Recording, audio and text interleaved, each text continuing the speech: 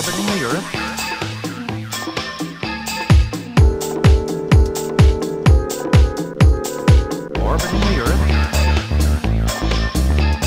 Remember, repetition is of the greatest importance.